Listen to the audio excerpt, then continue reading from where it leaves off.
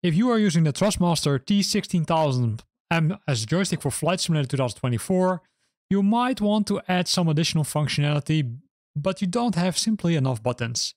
In this video, I will show you some tricks how to resolve that issue. Let's roll the intro and then let's look at how to do that.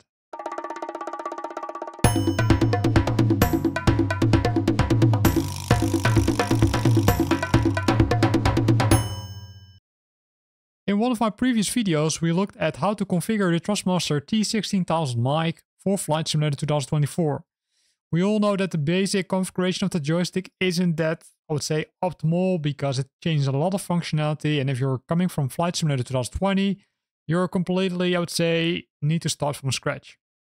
Right? So what I figured out is that there is a way to take kind of extend the number of functionalities offered by the joystick. Because by default, right, in my previous video, we assigned one function per button or per axis. But in some cases, you might want to add some more functions. For example, you might want to do the rudder trim or maybe some other trims. And that's, say, impossible if you would need to use one button. However, there's a trick. So we've got this custom setup, right? So if you don't have this custom setup, then have a look at the top of this video because there's a link to the previous video where we're going to discuss this in detail how to configure it. But for now, let's look for trim. If you search for trim, you will see a lot of options, right? You can see the aileron left trim, the right trim, and we see the rudder trim left and right. Now, by default, you can see that only one button is assigned to this, I would say, function. So let's assume that we want to reuse that trim down option, which is joystick button number 6, also for the aileron trim left. Normally, if you would press that button right, it will result in a conflict because it says, hey, there's one item assigned to that. However, if you do the following, you press that button number 6 and then in combination with the uh, joystick on top, right, the POV to the left, you will be able to configure an additional functionality which doesn't result in a conflict. Now the same thing can be done of course for the right side, so right pressing the button and here we go. So now we've got two additional functions configured to the cockpit or to the joystick, of course. Now we can do the same thing for the rudder, right? So if we go to the rudder, we see rudder trim left, rudder uh, reset rudder trim and rudder trim right. So let's do the same thing. In this case, we're going to use button number nine. So button number nine, that's the one below six, and then press the left button. And for right, also button number 9, but then the POV to the right side. And to reset the rudder trim, we're going to use button number 9 in combination with button number 2.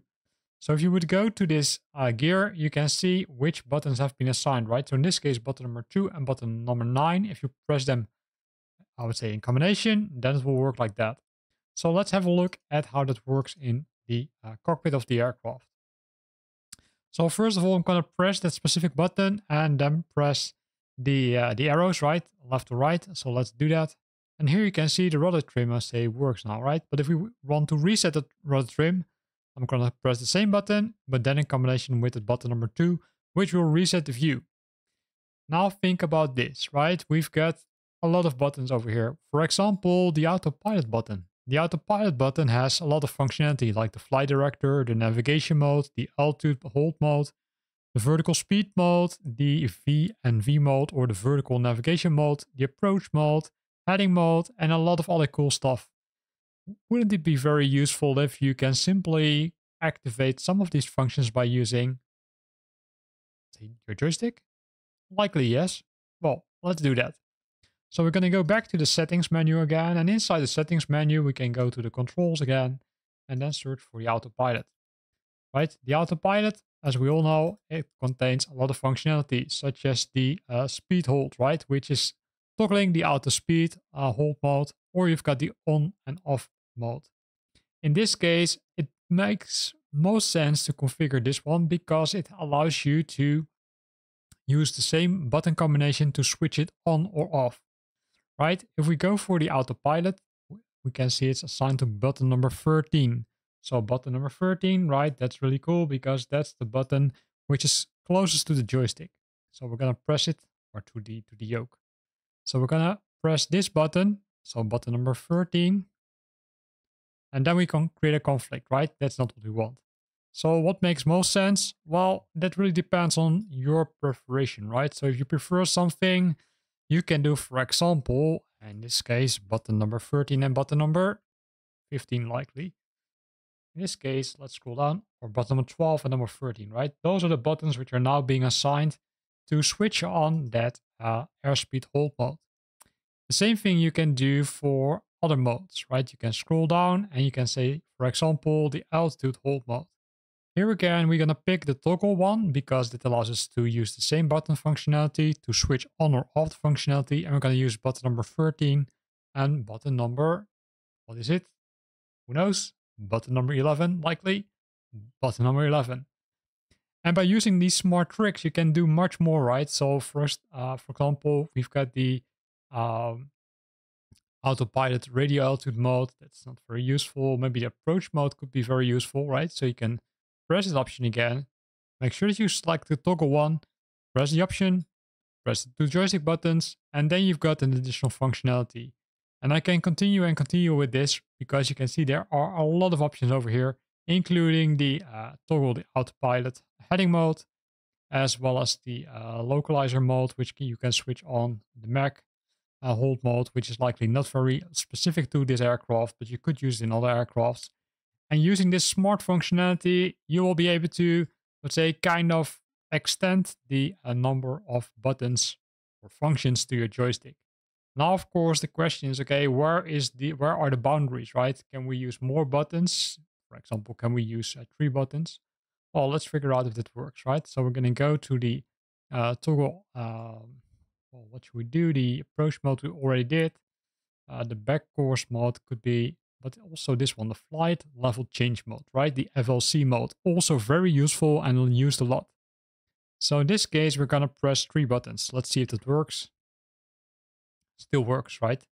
Uh, so now we've got button number 11, 12, and 13. Those are assigned to that FLC mode. So you can see, I would say you can almost double or even triple or likely even more uh, times extend the functionality of the Thrustmaster T16000M.